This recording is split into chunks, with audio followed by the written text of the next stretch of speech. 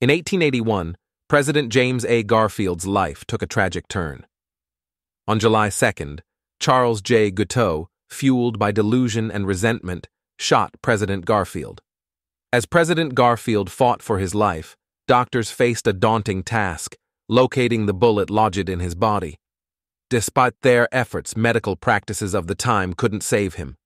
But through his struggle, President Garfield's strength and resilience shone bright. His story sparked reforms in presidential security and medical care, leaving a lasting legacy. President James A. Garfield, A Story of Resilience. Subscribe for more fascinating stories from history. See you next time.